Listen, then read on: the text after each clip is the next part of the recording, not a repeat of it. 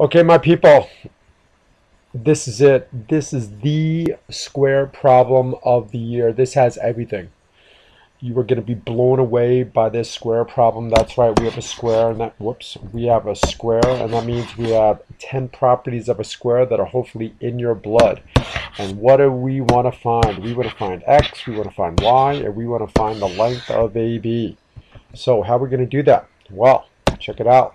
We have a side over here of the square that has an expression with a mixture of two variables, x and y. That's interesting.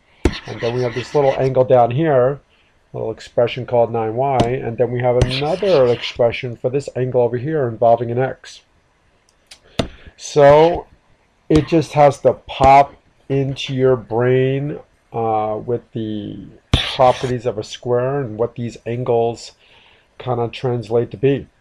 So hopefully you will recognize that all the diagonals, both diagonals, are perpendicular. And if both diagonals perpendicular, that means all these angles in here are 90 degrees. And what does that mean? That means we can write an equation for x in here. 5x plus 70 equals 90. And we're going to be able to get x in a moment.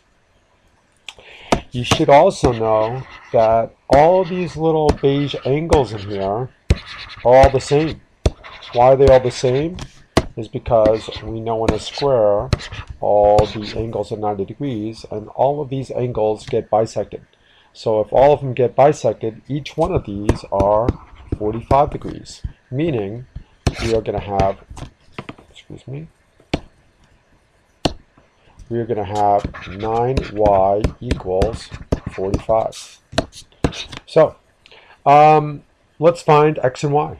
So how do we do that? Well, let's see. We put the 70 on the other uh, other side. So we got 5x equals 20. Turns out x is 4. Over here on the other side of the fence, we got y equals 5. So what does that mean? Well, we know x and y. We the, those are the values of x and y. And this is going to help us find one side of the square. So when I go 2 times the value of x plus 2 times the value of y, let's see, 8 and 10, that is 18. So altogether, every single side of the square is 18. And so there's only one thing left to find, that is the length of AB in here, and I'm going to highlight it with uh, a blue marker right here, that is AB. And so AB is a part of a few different triangles, and I'm going to highlight the one triangle that we are going to focus on here. There's a couple different choices, but um, I'm just choosing this one. And so notice we know that side is 18. We know this side is 18.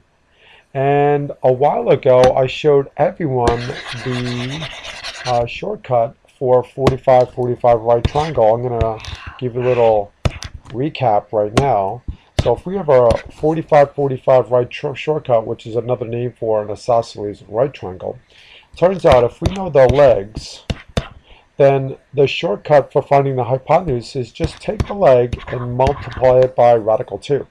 So in this case, we're going to be able to take what we know for that triangle, uh, meaning uh, the two legs are 18, and applying the shortcut, the length of that hypotenuse is going to be 18 radical 2.